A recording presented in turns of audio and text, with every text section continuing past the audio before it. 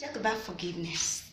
I mean, who does not know what forgiveness is? When someone hurts you and asks for your forgiveness, you say, I forgive you, right? That is forgiveness.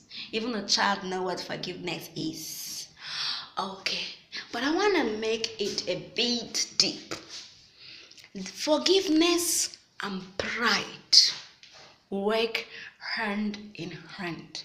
You cannot see unforgiveness and do not see pride. You cannot see pride and see unfor- and see and do not see unforgiveness. They are brothers and sisters. They are twins. They work hand in hand. So anytime you hold on and say, I just cannot forgive the person, you are still mellowing and pride.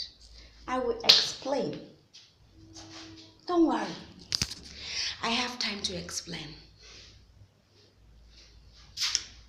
Jesus said, when you and your neighbor have a problem, and you people are on the way to go and meet the judge, please, for your own good, settle it before you reach the judge's place because you may be disappointed and the judge may not judge to your favor and they will package you and put you in the prison and you will pay all that you did you understand?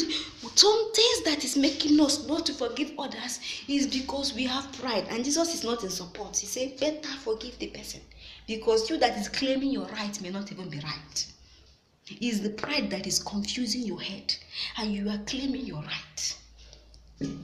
You were wrong in the first place to be angry with your neighbor.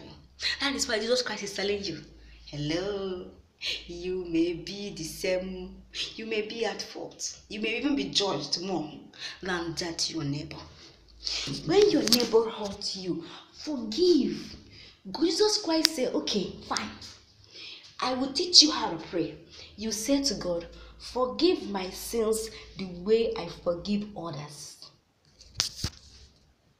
Christ puts in the concept of forgiveness in prayer because he don't want us to forget it. Because if you do not forgive anybody judgment is already against you.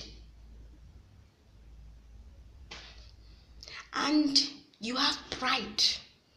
You have mm, mm, you know what he did to me? Mm, i will not forgive him. Mm, you know?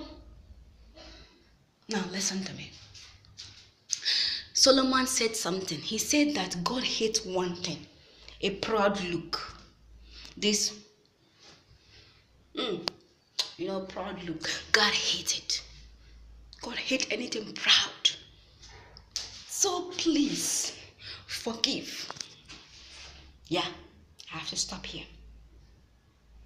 Forgive. Stop being so hard. Forgive, forgive, forgive, forgive, forgive. I mean, be light. Don't be like pride. Like